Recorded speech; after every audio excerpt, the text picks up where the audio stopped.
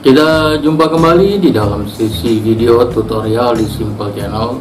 Pada kesempatan kali ini kita akan membahas tentang cara untuk melakukan migrasi website berbasis WordPress dari dalam localhost ke dalam hosting cPanel. Karena prosedurnya cukup panjang dan harus tepat, maka sebaiknya Anda tidak men-skip-skip video panduan ini agar Anda bisa melakukan migrasi website WordPress Anda dari dalam localhost ke hosting cPanel. Bagaimana caranya? Langsung saja kita simak panduannya.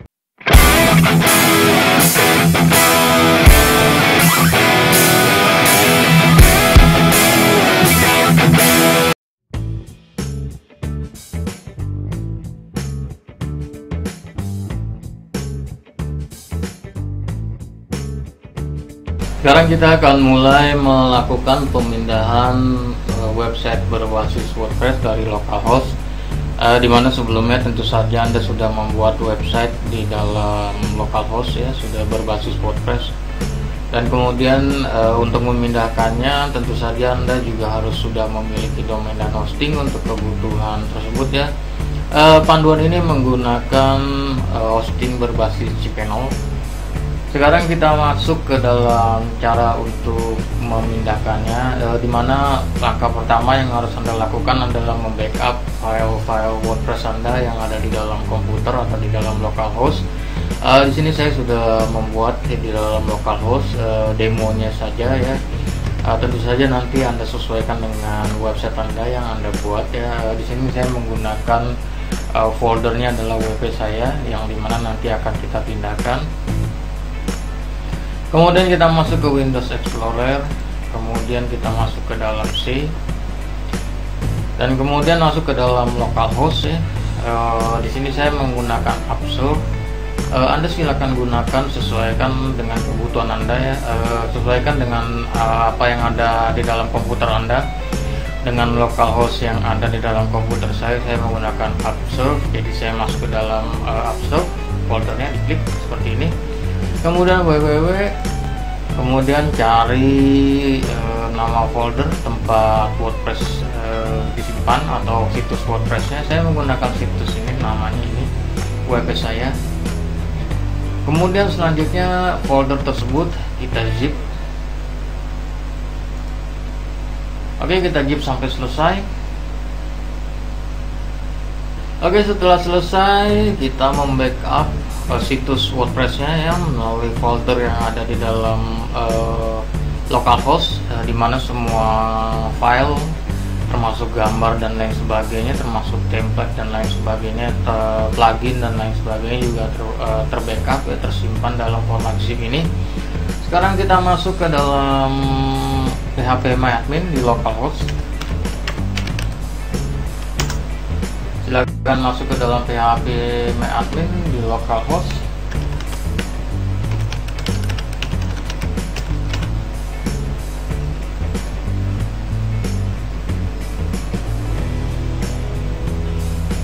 kita akan mengambil uh, database yang dipergunakan di dalam localhost ini silakan cari database yang anda gunakan. Saya menggunakan database namanya WP saya. E, kalau anda nanti anda silakan sesuaikan dengan kebutuhan anda ya.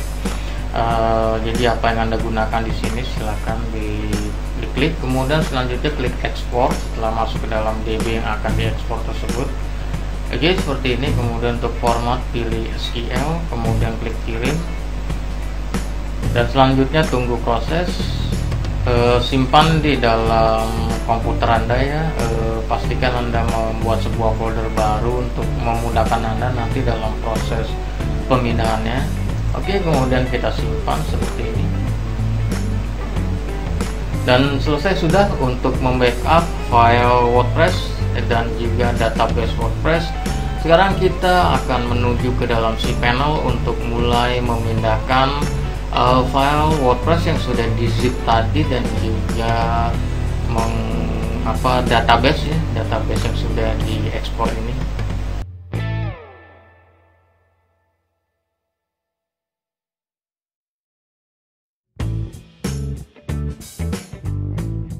Sekarang kita akan mulai melakukan upload dan juga melakukan impor database yang sebelumnya sudah di backup di dalam komputer. Silahkan login terlebih dahulu ke dalam cPanel Anda. Tentu saja Anda sudah harus punya cPanel dan juga domainnya ya. Sudah punya hosting dan domainnya. Kemudian setelah di dalam cPanel seperti ini masuk ke dalam pengelolaan file atau file manager e, kalau di dalam hosting Anda menggunakan bahasa Inggris silahkan disesuaikan saja dengan bahasa Inggris ya. Uh, di sini uh, hostingnya menggunakan uh, interface bahasa Indonesia. Kemudian selanjutnya setelah berada di dalam file manager kita masuk ke dalam folder www tentu saja di sini uh, directory ini masih kosong ya karena belum ada file. Kita akan upload dulu unggah. Kemudian select file dan kemudian selanjutnya kita masuk ke dalam uh, tempat anda menyimpan hasil backupnya ya yang di localhost yang sudah anda lakukan sebelumnya. Di sini kita akan ambil dulu atau akan upload dulu file zip yang berisikan uh, file-file WordPress-nya. Kemudian open saja. Kemudian selanjutnya tunggu proses upload sampai selesai Oke, sepertinya proses upload sudah selesai. Jangan tutup dulu, kita balik dulu ke dalam tab yang ini. Uh, tab file manager kemudian kita klik muat ulang. Nah anda bisa melihat uh, kalau uploadnya sudah benar-benar berhasil Anda bisa melihat penambahan file uh, dalam format zip ya. File dalam format zip ada penambahan. Kemudian ini baru kita tutup kemudian selanjutnya kita akan ekstrak file ini diklik. Kemudian klik tombol ekstrak. Kemudian didiamkan saja seperti ini secara default. Kemudian klik saja extract file dan tunggu proses ekstraknya sampai selesai. Ya ini ekstraknya sudah selesai. Kita close. Dan kemudian ini yang zip ini kita hapus lompati sampah di sini kemudian confirm dan selesai sudah. Kemudian kita masuk ke dalam folder yang hasil ekstrakan ini. Saya namanya di sini folder WP saya. Kalau di tempat Anda akan mengikuti dari file yang Anda ekstrak. Diklik saja kemudian masuk ke dalam sini kemudian diklik WP admin kemudian klik uh, pilih semua. Kemudian klik kanan mouse kemudian klik move. Kemudian uh, folder WP saya ini dikosongkan. Seperti ini. Hati-hati ya seperti ini ya. Pastikan public uh, dash atau uh, eh, HTML ya. Seperti ini. Eh, jadi kemudian setelah seperti ini kemudian klik move file. Tunggu proses kemudian balik ke naik satu level. Dan kemudian folder WP saya ini di delete juga dan selesai sudah silakan uh, ini boleh ditutup. Dan kalau sekarang anda akses uh, nama situsnya. Ada bacaan error establishing database connection uh, atau ada bacaan error database uh, di browser Anda. Kira-kira kurang lebih seperti itu pesannya Hal ini disebabkan karena kita belum melakukan impor database dan selanjutnya kita akan mulai mengimpor database ke dalam hosting cPanel kita.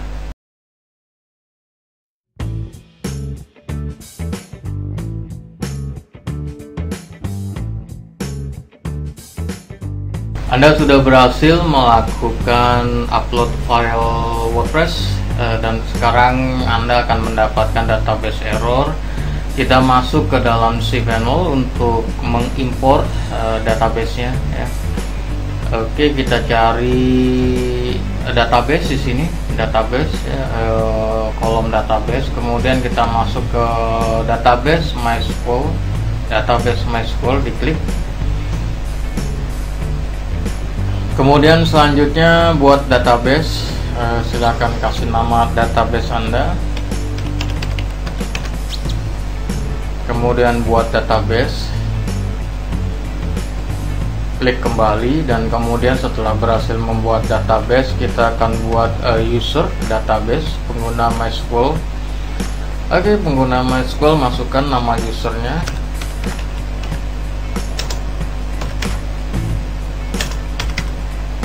kemudian kata sandinya kata sandi saya menggunakan uh, dari sini dengan menggunakan karakter 15 oke seperti ini. Di generate dan kemudian setelah di generate di copy klik tutup. Kemudian kita ambil dari dalam komputer notepad ya kita akan ambil notepad untuk menyimpan passwordnya Oke pastikan passwordnya ini anda simpan di dalam notepad atau word dokumen e, karena akan digunakan nanti ketika melakukan koneksi antara database dengan file-file PHP yang ada di dalam WordPress. Selanjutnya kita paste juga ke dalam kata sandi yang ada di sini kemudian diulangi kata sandinya seperti ini. Kemudian selanjutnya buat pengguna kemudian selanjutnya klik kembali. Dan setelah itu kita akan mengkoneksikan database eh, dengan user database masuk ke tambahkan pengguna ke database. Pilih nama pengguna yang akan digunakan. Kalau anda sudah membuat beberapa pengguna pastikan anda memilih pengguna yang tepat atau yang ingin anda pakai atau yang belum dipakai e, untuk WordPress ya. Kemudian selanjutnya database pilih database yang tepat juga yang yang ingin akan anda gunakan. Kemudian klik tambah. Ini kita copy dulu nih karena akan kita gunakan nanti ketika melakukan koneksi dengan e, PHP paste ke dalam notepad ya. Kemudian selanjutnya yang semua hak ini dicentang kemudian buat perubahan tunggu proses dan di sini sudah ada keterangannya. Your set ya arti sudah berhasil disimpan kemudian klik saja kembali. Dan kita akan mulai melakukan import database ke dalam uh, si panel. Di sini klik ini ya klik itu uh, yang ini kotak-kotak ini kita akan kembali ke home kemudian masuk ke dalam kolom home seperti ini kita masuk ke kolom database klik php my admin tunggu proses akan keluar jendela baru dan anda akan masuk ke dalam php my admin kemudian cari uh, database yang tadi anda buat di sini saya membuat nama tadi situs db ini dia.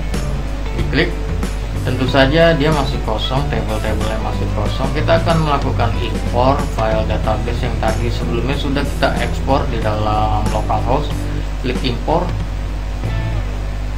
Kemudian pilih file. Ini dia filenya scroll file ya. Type nya scroll file. Klik open. Uh, untuk yang lainnya tidak usah digunakan. Formatnya saja kalau misalkan misalkan dia belum SQL dirubah menjadi SQL ya. Oke kemudian selanjutnya jika sudah klik saja go dan tunggu proses.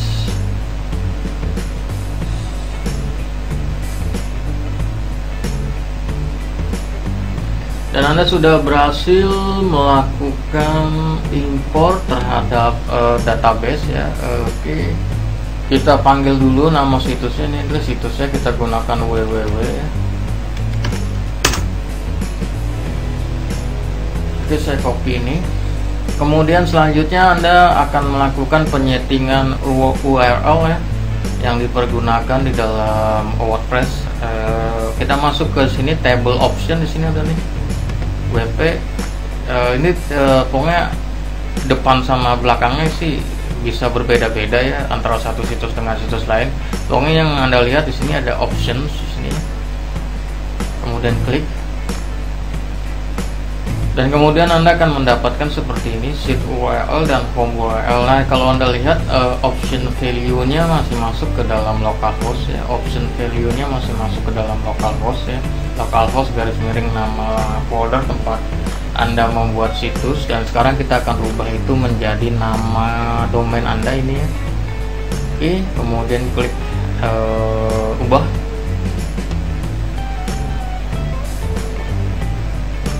kemudian di sini dibuang diganti dengan uh, nama domain anda. Pastikan di belakangnya tidak ada garis miring oke setelah sudah klik saja go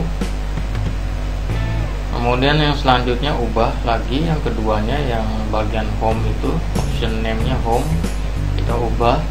Kemudian di sini juga kita hapus kita masukkan nama domainnya. Pastikan menggunakan http dan www ya. Http dan www seperti ini. Kemudian klik go. Dan berhasil sudah anda melakukan import database. Selanjutnya kita akan melakukan koneksi antara database dengan file-file PHP yang ada di dalam WordPress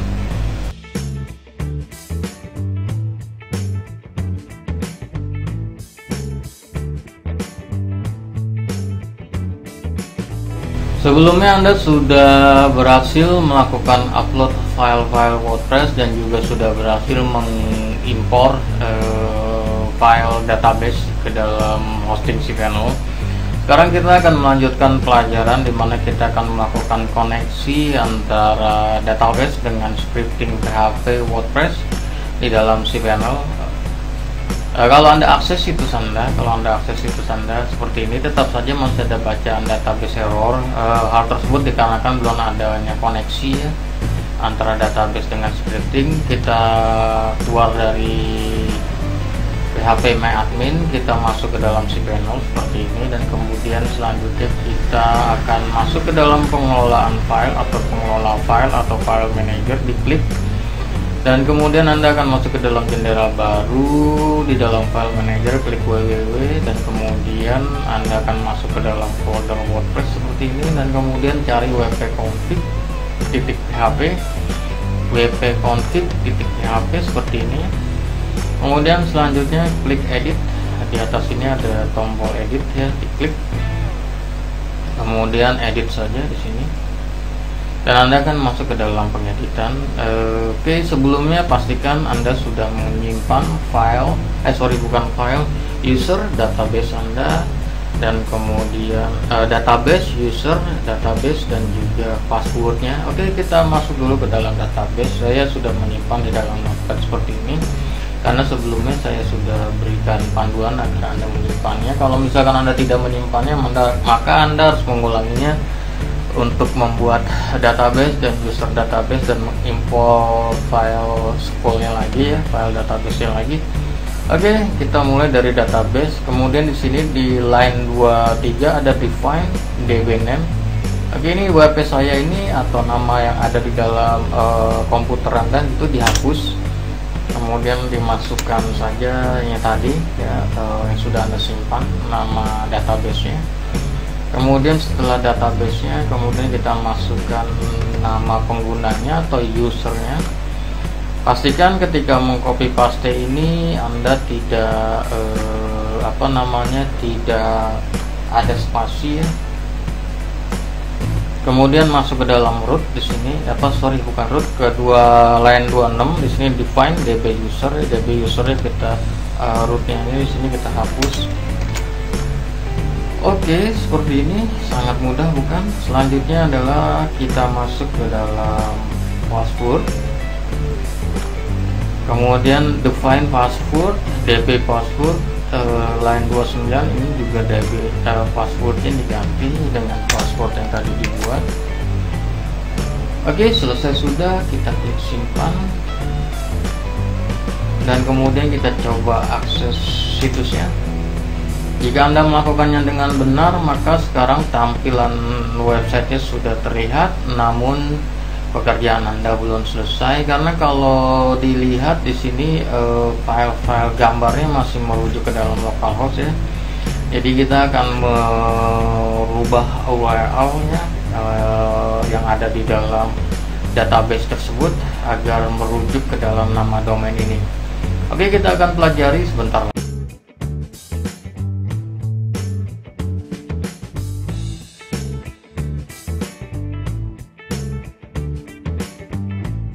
Sekarang kita masuk ke bagian terakhir dari proses migrasi website WordPress dari dalam localhost ke dalam hosting cPanel di mana pada bagian terakhir ini kita akan melakukan perubahan uh, path URL secara keseluruhan yang ada di dalam WordPress yang sekarang sebetulnya masih menuju ke dalam localhost jadi kalau misalkan diakses dari komputer lain kemungkinan ada bagian-bagian yang tidak dapat terlihat dan rusak ya karena path URL-nya masih menuju ke dalam localhost dan kita akan arahkan path URL tersebut ke dalam domain yang dipergunakan untuk kebutuhan website WordPress tersebut. Untuk kebutuhan tersebut kita akan menggunakan sebuah plugin eh, namanya adalah Velvet Blue Update URLs Velvet Blues Velvet Blues update URLs ya. Jadi saya akan gunakan ini. Kemudian selanjutnya masuk ke dalam dashboard dari WordPress. Silahkan anda login dulu melalui WP admin ya. Untuk user dan passwordnya adalah sama yang seperti anda gunakan di dalam localhost ya karena kita kita uh, sebetulnya yang memindahkan websitenya dari dalam localhost ke hosting jadi semua keseluruhan nyetingan dan data-data lainnya adalah sama. Oke kita masuk ke dalam plugin dan kita tambah plugin baru. Dan kita akan mulai menginstal Velvet Blues Update URL kita kopikan namanya di sini pas apa di dalam search cari Velvet Blues Update URL seperti ini. Dan kemudian anda akan uh, masuk ke dalam hasil pencarian yang di sini ada Velvet Blues ya kemudian pasang. Tunggu proses instalasinya sampai selesai dan setelah selesai nanti seperti biasa kita aktifkan. Oke kita aktifkan seperti ini. Selesai sudah kemudian selanjutnya kita masuk ke dalam pengaturan. Kemudian ini kita klik dulu permalingnya kita rubah permalingnya jadi nama tulisan atau yang lainnya. Sebagainya kita klik di sini. Atau simpan sorry kita simpan ya. Seperti ini sudah disimpan. Dan kemudian kita masuk ke dalam perkakas. Ya masuk ke dalam perkakas atau tool ya di sini biasanya kalau dalam bahasa Inggris. Kemudian update URL ini adalah punyanya Velvet ya Velvet Blues. Kemudian uh, kita akan gunakan URL yang di nama domainnya URL tempat WordPress tersebut berada dengan memasukkan nama domain kemudian di sini uh, dicentang semua oke okay. uh, sorry yang update all goods nggak usah ya uh, dia hanya di development oke okay. kita ini URL ini kita masuk semua kemudian update semua dan di sini biasanya kalau hasilnya akan jumlahnya karena saya menggunakan uh, sampel website default aja jadi tidak ada postingan yang terkait uh, eh, URL jadi dia hanya masih kosong-kosong. Tapi kalau di tempat anda anda akan melihat ada perubahan-perubahan di sini. Ya nomornya berapa jumlah yang sudah uh, berhasil dirubah. Dan biasanya setelah ini ya, proses situs anda akan bekerja atau berjalan sebagaimana mestinya Demikian tadi cara melakukan migrasi atau memindahkan website WordPress dari dalam localhost ke dalam hosting cPanel. Kita masih akan jumpa kembali dengan panduan-panduan lainnya di Simple Channel ini. Karenanya bagi Anda yang belum subscribe silahkan Anda subscribe sekarang. Tekan tombol merah yang ada di dalam video ini dan setelah subscribe tekan juga tanda loncengnya agar Anda bisa mendapatkan notifikasi ketika ada video baru yang diupload oleh Simple Channel. Kita jumpa kembali. Peace.